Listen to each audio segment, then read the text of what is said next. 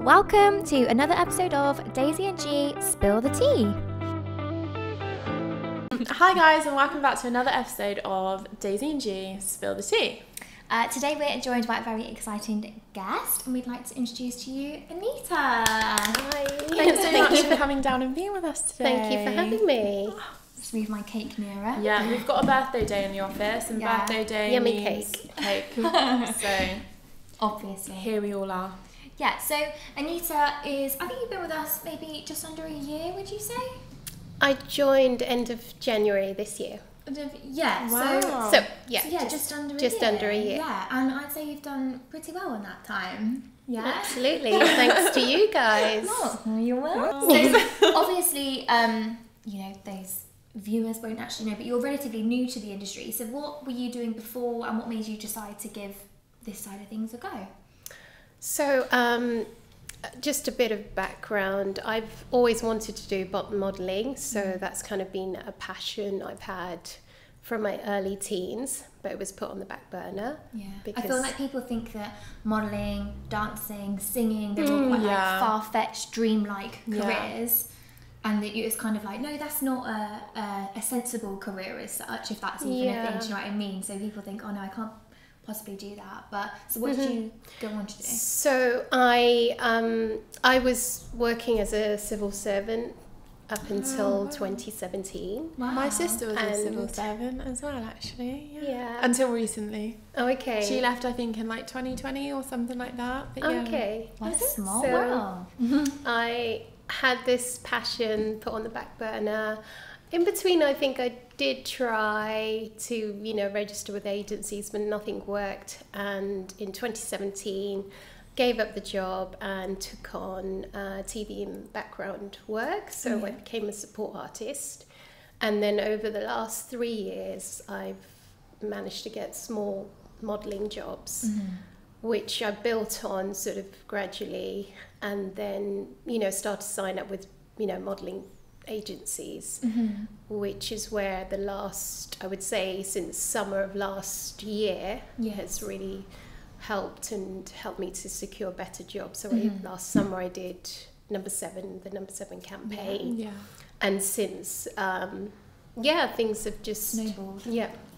Oh, Amazing. Yeah. So what? So what advice would you give to someone who is new to the industry and looking to break into the industry? What would you say is your Anita's tips and tricks?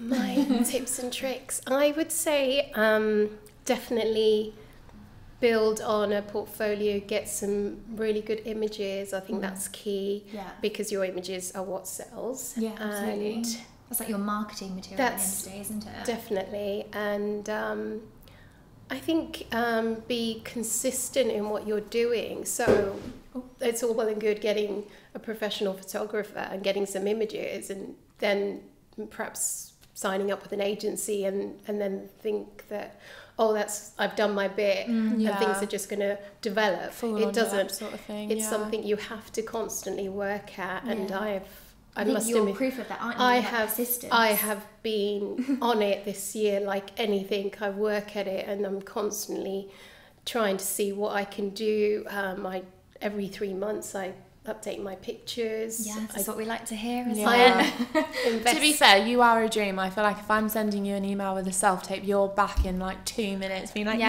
"Yeah, getting this done for you, Daisy." Yeah. Reading like it properly, sorted. all yeah. the details. yeah, like, I just feel like I know you guys. You, you've got your job to do, and I. The one thing I dislike is h- having anyone wait on me. Mm.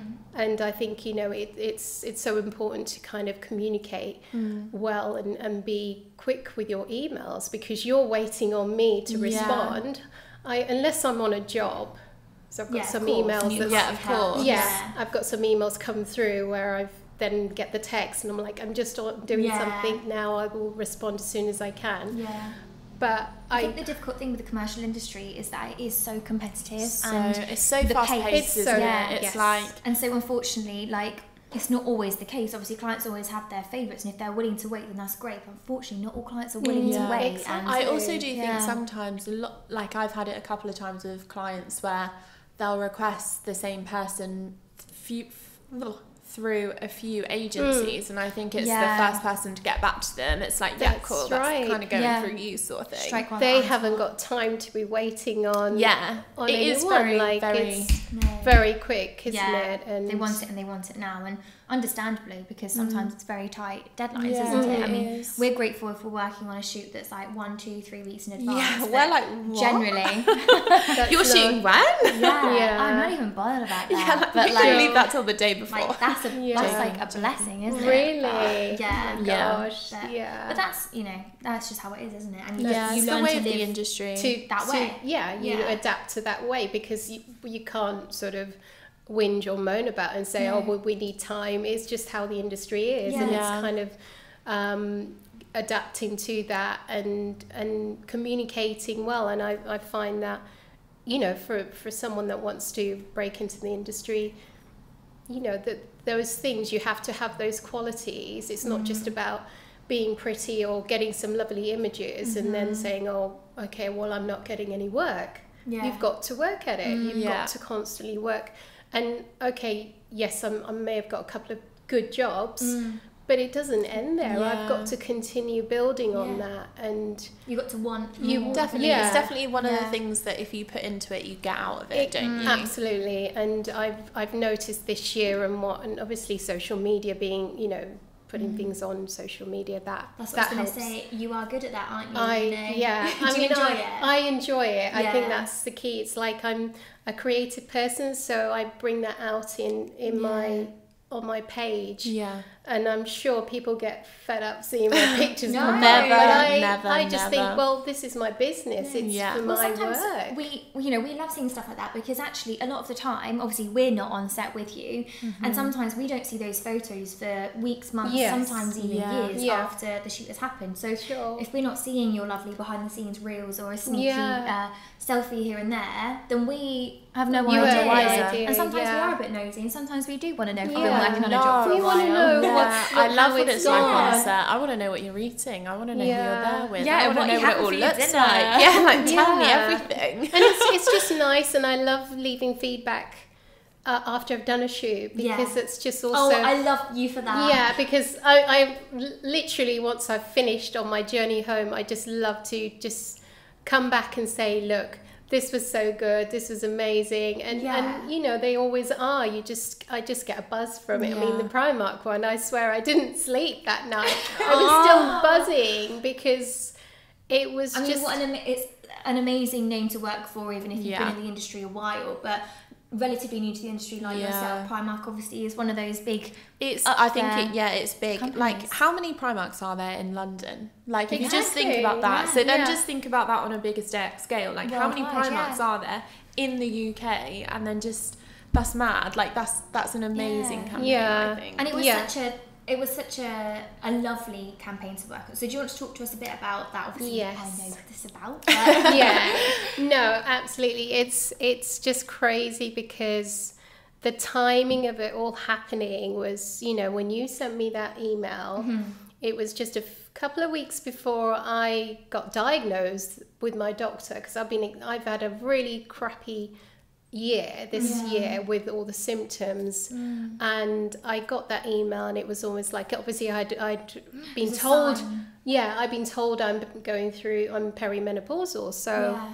the email came through and I, it was almost like I said to myself, that that job's mine. Yeah. it has to be. How has this happened? That is me, It was crazy. Yeah. Because they were looking for perimenopausal and menopausal, Menopausal. women, like or uh, it particularly like diverse, um, cast, anyone and everyone, but someone who's willing to talk about their story. Yes. So yeah, Yeah. obviously I did check availability of quite a few people. You know, I had quite a few people cast for that, and that's for me alone. So Right. for you to then book it Confirmed. I know. incredible. Yeah. And we were, I, I mean, me as a booker, I'm so chuffed to be like, I work with. Primark, Yeah. but you also work with Primark. Yes. is yeah, because.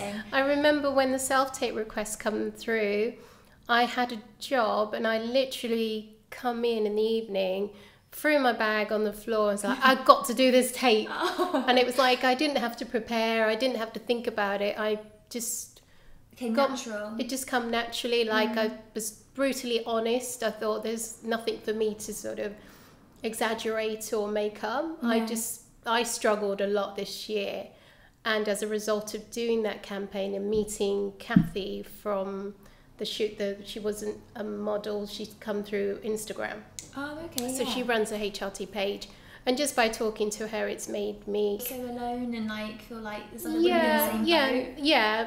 There's that, uh, but also just to kind of seek, you know, the right uh, advice from doctors. You know, go to the doctors, and I'm on HRT, and it's it's helped. It's still early days, but it's it's like I, I was so adamant I wouldn't take any treatment. I wanted it all natural, but I knew I wouldn't I wouldn't be coping, you know, with all the symptoms that I've gone through. I still have them, but it's Yeah. it's getting It's better. helping. It's helping. Yeah. And that being on that campaign and meeting these women and you know going to the event and just just talking about it and there's just so much out there now and I think it's amazing to be mm. part of that.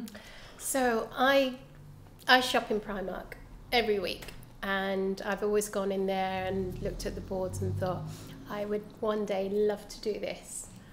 And when this job availability came through, it was like, oh my gosh, obviously the topic behind it meant a lot to me because I was going through it, but also for the brand Primark. So it was like a win win situation. And when I submitted that tape, it was like I was until I got that confirmation. Was like, oh my gosh, have refreshing I emails, refreshing Yes. emails. and um, I was just so over the moon. I mean, uh, even until I'd done the job, it was like, did I actually do that? Did I do that shoot for Primark? And it's also not just been one though, has it? You know, it's been, it's turning into a little bit of a know. repeat booking, which is lovely. And For and them they to love call me so, back, yeah. yeah. that was. And then you went to the event alongside recently. Was it Lisa? Lisa Snowdon, was yeah, she there. was so talk to us about the event then as well. So that was the launch party. That was the launch party for the menopausal Was range, range. wasn't it? Yeah. So yes, that was um, it was Lisa Snowdon who hosted it, and there was uh, lots of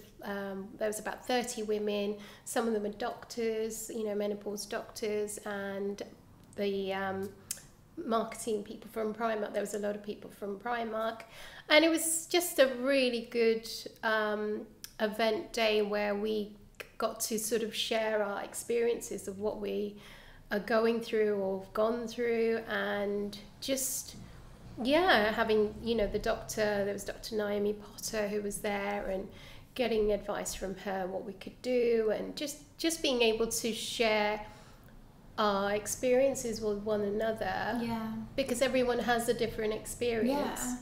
I was just really you know a really good day and And I guess like in that situation, like no question is too silly, and like Yeah. you know, so it's very like open room in that. And I guess respect, yeah. everyone that you're there with is going through a very similar thing. So it's kind of like you're all going to relate on a level, no matter how different your experiences That's are. It's all going to tie you together with that one thing. Yes, and the the other lady that did the shoot with me, um, Bianca, her she had a different experience. So she was a uh, cancer um, victim, so she had a different experience. The other two ladies, unfortunately, couldn't be there, but just to share, you know, what what happens to you to your body at you know certain ages. You know, we all have it at different times. You know, we can it can start as early as thir- in your thirties and which is crazy, isn't um, it? yeah, and and just just being able to talk about it and have the topic out there that I think everyone, regardless, you know, if you're a bloke, blokes should know about it. Mm. You know, you, our mums, obviously, are like my mum's generation, and especially coming from an Asian background, mm. it's a it's Like a huge topic. it's Yeah. a very much taboo Yeah. t- Yeah. topic. Even even surrounding periods, it's mm-hmm. like we don't talk about those no, things. yeah. Everyone So- knows it goes on, but no one talks. No one about talks it. about it. So the menopause thing is like no one like I can't speak to anybody about it. Like I can speak to my mum, but her her approach or like my cousins would be, well, it's just all part of a woman's journey. Just get on with mm-hmm. it, mm. and that that's how it is. And it's like mm. you feel you feel alone with it, and you Yeah. think, you know, who can you actually talk to and and have someone actually understand what you're going through Mm. and it, it's just I, am just so shocked how from from doing this campaign that there's nothing out there for people for for women to to you know seek help and advice you know doctors aren't trained in this area Really? believe it or not Oh. I feel like this is a, like a, a thing that's coming to light recently with like loads of things where, uh, like you said, like a lot of things we've been brought up to not talk about, to Mm. not discuss. If I'm going through something, it's a bit like, oh, like, can I speak on this or whatever?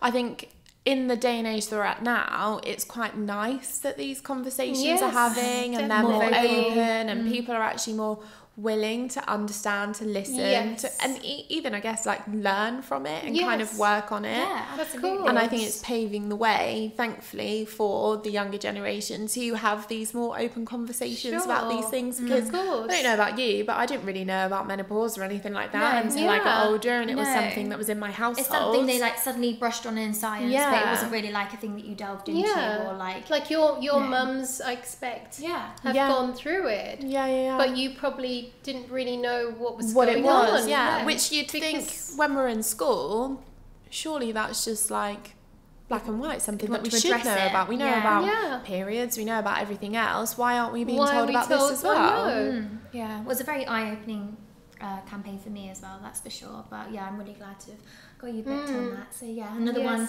Ticked. Definitely, yeah. definitely. So when you obviously first delved into the industry, um, you said you applied for a, number of agencies, but what attracted you to applying to us? you guys were always um, top of my list, and I think I did try for a long time, and I know where I was failing because my pictures, you know, I didn't realize that. You know, I, I mean, pictures that I've taken on my phone Mm. or selfies. I mean, I, I think perhaps, you know, last year I knew that I need to invest in a in a photographer, Mm-hmm. professional photographer, and get some decent pictures, and that that did the trick. Yeah. that was where I I failed. So, um, you guys were being yeah my top agency to you know it was like I need to get on Sandra Reynolds books, and I think I've worked with with models where they recommended you guys Oh, over the over the last year. And you know I've done my own research as well. So um yeah I eventually yeah I managed to cracked it. cracked it. And I was like so excited when I got um the emails from Amy. And it's like oh my gosh I'm Going to meet and them. then I'm actually going to meet them. And then I was worried, like, oh, I then, like, obviously I come in for the, you know, audition, and it's like, am I going to be accepted? Or, and yeah, it's it's been an amazing, amazing year with everything going on internally. yes. But I've, I'm just really excited. I think you guys, you know, are, are great as an agency. You communicate so well how you you know you operate and how you know you send your details through just just a great way and I, I love that i think communication is key For sure. and i think Yeah. you you guys nail it all the time like i don't have to wait on you guys and you know find out what's what's happening or I think everything's very same for us. detailed It's in like your emails mirrored Yeah. there. Communication is key for us when we take on talent as well. You know, you could be you could be Kate Moss, the most beautiful Yes, woman. yeah Um, but unfortunately, if we can't get hold of you, or it's like getting know. touched if you're sending us one word emails, yeah, with, No. and not with the self tape or the Yeah, just we need, then unfortunately, available. it's not going to be a very good working relationship. Wow, no, of course. but I think it's one of those things you, like we said earlier, what you put into it, you get out. of it, Yeah, isn't yeah, it? And I absolutely, think yeah. yeah, yeah, you're always very on it, and I know if I'm sending you a self tape request, I don't need to worry about that. I don't need to chase you at all. You're there, being like, yes, Daisy, I'm doing this. bish bash bosh. Yeah. um. So, what are five brands that you want to work with going forward? Have you got your eye on anything? I know, obviously, you've done like Sainsbury's, you've done Primark that we've touched on, Liz Earle as well. I think. was- yeah, Um. What else guys. do you want to kind of get your teeth into? Um, my honest answer to that is I'm open to any brands. I I think every opportunity is it helps me in my journey for me to grow as a as an artist. So I don't have a particular brand at all. I think you know whatever opportunities come through, I'm happy to accept that Yeah. and and do my best with it. I think I can't I, I can't say, you know, I, I want to go off and do some super brand like that's Mm-hmm. you know, I, I like even like high street brand, it, it doesn't matter. Yeah. It's the opportunity that I value more. Mm-hmm. Amazing. That's Aw. such a lovely That is a really lovely answer, yeah. yes, Anita. Also, I feel like you've worked with such amazing brands anyway. Like it's just the only way. Anything up. else is a bonus. Yeah, Just- for sure. I think yeah, The only for way is up. Is that what you were gonna say? Yes, that's yeah, that is right. The isn't it? only way is up. Thanks, guys. I think yeah, I think it's it's uh, the last yeah 12, 12 months or so. It's it's just if I can take how I see it, any any opportunity that comes through, if I'm taking baby steps forward, then I ha- I'm happy. Yes. If I'm stagnant, that's where there's a problem, Yeah. and that's where I don't want to be. But I can see that I am growing and I'm working at it, and with agencies like yourself, you're you can see how I work and yeah. and where to market you best. yes, Yeah, so definitely. Because at the end of the day, it's it's like I just said, it's a working relationship. It's a two way street. You know, as much as we think that you've got a lovely look and one that our clients will like, we need to then be able to follow through with that and be Yeah. like, right, Yes. this client, this is Anita, like she'd be great for you, and then be able to follow through to the point of option and then hopefully That's right, confirmation. But for for us, as long as we're getting you under the nose of those clients, Yeah. that's our job done. Obviously, ultimately, a confirmation out of it is yes, Client's lovely. decision. yeah. But I think if you're getting back the around. availability checks, the self tapes, whatever, then you know that it's going in the right direction Yes, and we're I- doing what we're supposed to be doing. Of course, I think getting a self tape request for me kind of confirms I'm I'm sort of halfway there, really. Yeah, you're on well, the radar I'm, for sure. I'm halfway there to or to get to the end or secure that job. So I think it's always I, I'm always excited when I get a request for a self tape. That's a really good sign for me. It's when when I don't get that, then that's a worry. Like Mm. by just seeing pictures, you Mm-hmm. know, they they're not going to see what I can do behind the camera. So And sometimes Yeah. that's a shame for us if we know that someone's mm-hmm. particularly good for a brief, but you know how competitive the commercial industry is. Mm. Sometimes clients just literally take it quite literally on face value and they're They like, do, yeah. nope, nope, nope. But Just off like Yeah. polas, yeah. and it, it can be really difficult, but we'll get there in the end. And what's Yeah. meant to be will be. Of course. Always, what's meant for you will find a way. Thank you so much, Anita, for coming down and Thank talking with us today. It's been mm-hmm. an absolute pleasure, and I think you've just shed light on things that are just that we need to talk about. So thank you. Oh, oh thank you guys for having me. It's You're been welcome. wonderful to be here and be part of this podcast. Yes, absolutely. well, be sure to stay tuned for our next episode. Yeah. Thanks, guys. Bye.